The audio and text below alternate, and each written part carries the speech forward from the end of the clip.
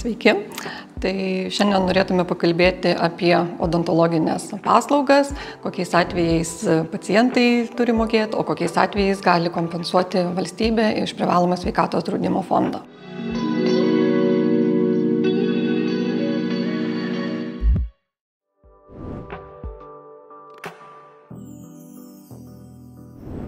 Paslaugų teikimui yra nustatyti tam tikri reikalavimai ir sąlygos, kurie yra apibriežti Lietuvos Respublikos sveikatos draudimo ir sveikatos sistemos įstatymuose bei sveikatos apsaugos ministro teisės aktuose, kurie reglamentuoja odontologinių paslaugų teikimą.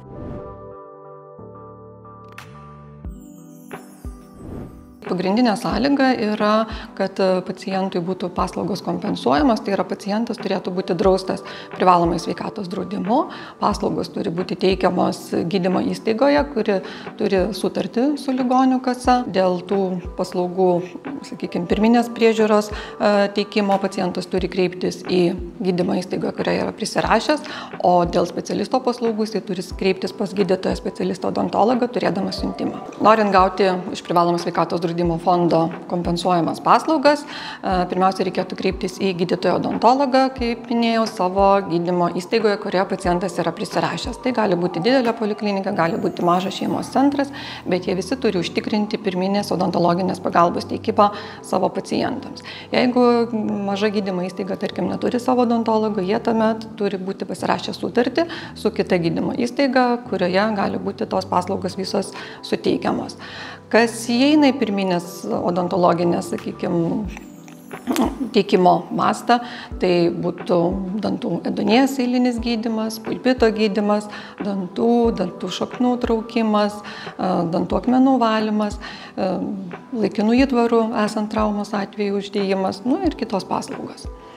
Taip pat svarbu pastebėti, kad teikiant būtent pirminės sveikatos priežiūros paslaugas, tokia atveju siuntimas yra pacientui nereikalingas, jisai tiesiog registruojasi savo poliklinikoje, gydymo įstaigoje ir gauna gydytojo konsultaciją ir paslaugą.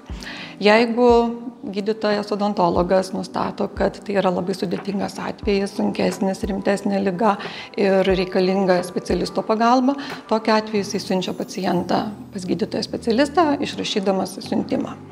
Ir su siuntimu tada pacientas gali kreiptis tiek į viešąją, tiek į privačią gydymo įstaigą, svarbu, kad ta įstaiga turėtų sutartį su ligonių kasa.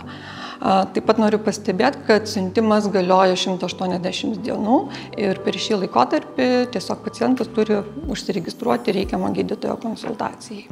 Pasitaiko, kad už dalį ne tai, kad paslaugų, bet tam tikrų priemonių reikia pacientui susimokėti tiek pirminės odontologinės pagalbos, tiek stacionarinės ar ambulatorinės grandies specializuotų paslaugų teikimo atveju gydimas ligonių kasa apmoka tik tai už gydytojo darbą. Už odontologinės medžiagas, už vaistus, už vienkartinės priemonės, už kitas priemonės, kurios yra sunaudojamos ir priklausomai nuo jų kiekio pacientai tada jau moka patys. E, yra išskiriamos tam tikros gyventojų grupės, kurios neturėtų mokėti už šias paslaugas, tai yra vaikai, dieninių mokyklų bei profesinių dieninių studijų moksleiviai iki 24 metų ir socialiai rimtini asmenys, kurie pristato pažymą iš socialinės paramos centros. Tai šioms pacientų grupėms mokėti už vienkartinės medžiagas vaistus nereikia, išskyrus atveju, jeigu, tarkim, vaikutis pasirenka, nori spalvotos plombos, tuomet tėveliai jau turėtų susimokėti. Tiesiog žmogus kreipiasi į gydymo įstaigą, registruojasi gydytojo odontologo konsultacijai, o jeigu specialisto reikalinga konsultacija, tuomet registruojasi į tą įstaigą, tai gali būti ir jo paties poliklinika, jeigu jinai yra didesnė ir turi gydytojus odontologus specialistus, o jeigu ne, tuomet kreipiasi į tiek viešąją, tiek privačią gydymo įstaigą, kurios turi sutartį dėl gydytojo odontologo paslaugų teikimo. Jokių dokumentų pildyti nereikia. Pačiam pacientui dokumentų pildyti nereikia ir siuntimai yra irgi elektroninė forma išrašomi ir fiziškai nereikia turėti.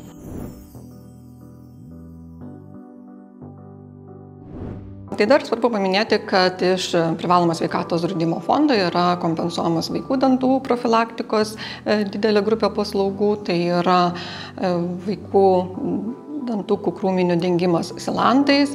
Tai yra tokia paslauga, kai tiesiog nuo pirmo krūminio išdygusio dantuko iki 14 metų yra padengiama tam tikra medžiaga silandais, kurie apsaugo dantuką nuo e, bakterijų susidarimo ir edonės susidarimo. E, taip pat jaunuoliams nuo 13 iki 18 metų poliklinikoje gali būti atliekama burnos hygiena, kuri vėlgi apsaugo ir profilaktiškai saugo jaunuolių dantukus.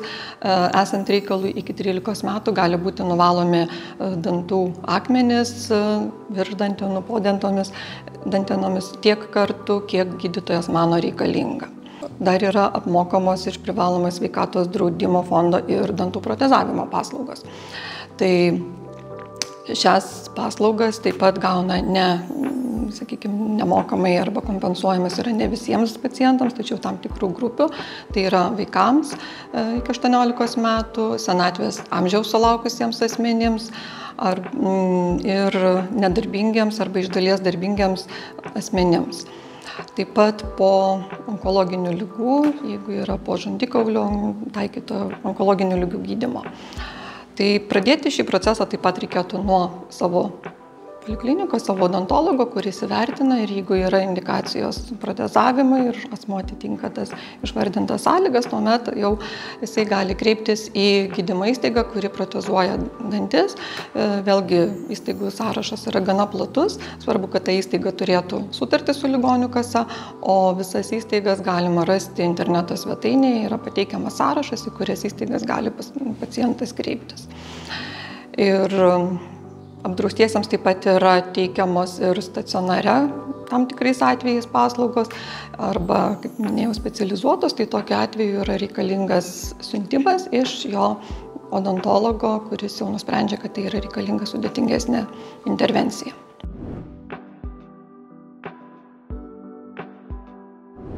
Yra nepilnai kompensuojamos arba, sakykime, nekompensuojamos paslaugos, kurios galėtų būti kompensuojamos, tai yra vėlgi asmenims, kurie yra nedrausti privalomai sveikatos draudimu, arba žmogus, tarkim, kreipiasi į gydymo įstaigą, kuri neturi sutarties su ligonių kasa dėl tam tikrų paslaugų teikimo.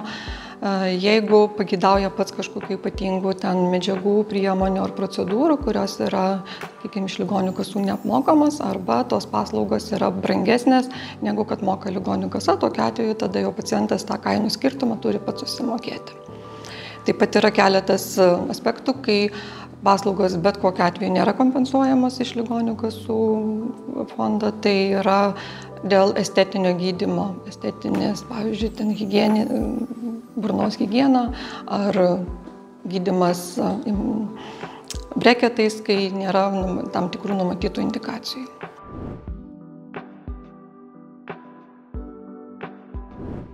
Tai pirmiausia, aišku, kiekvienas turime rūpintis savo dantimis, dantų būklę, nepamiršti periodiškai pasitikrinti pas gydytojus, kad laikui, laiku suspėti užbėgti rimtesnį lygai už akių. Ir tiesiog linkiu visiems, tiek teveliams, rūpinti savo sveikatą, nepamiršti savo vaikučių ir bent jau vaikučius kartą per metus būtinai parodyti odontologui, o ir patys, jeigu vieną kartą per metus kreipsitės pas odontologus, tikrai visos bėdos bus išspręstos žymiai anksčiau ir geriau.